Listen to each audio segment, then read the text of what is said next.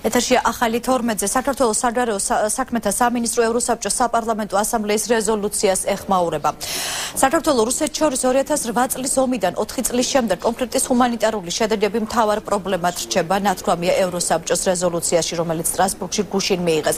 რეზოლუციის თანახმად სტატუსის შესახებ ადმინისტრაციული საზღვრის ორივე მხრიდან განსხვავებული პოზიციის არსებობა ჰუმანიტარულ საკითხებში პროგრესის მიღწევას ხელს უშლის.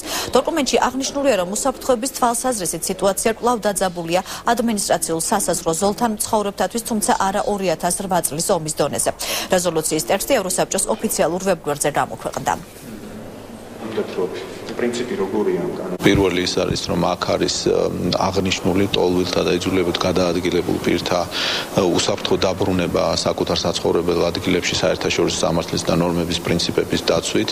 მეორე ძალიან მნიშვნელოვანი ფაქტორი, რომ საუბარი არის ოკუპაციაზე იმ კონტექსტში, რომ ევროკავშირის სადამკვირვებლო მისია აუცილებლად, თუ სადამკვირვებლო მისიას აუცილებლად უნდა მიეცა შესაძლებლობა განახორციელოს მონიტორინგი ოკუპირებულ ტერიტორიაზე და მესამე ასევე ძალიან მნიშვნელოვანი ფაქტორი გახლავთ ის, რომ საუბარია 2008 წლის 12 აგვისტოს 6 პუნქტიან შეთანხმებაზე ცეცხლის შეწყვეტის შეწყვეტასთან მიმართებაში და ამ ხელშეკრულების უპირობო შესრულებაზე.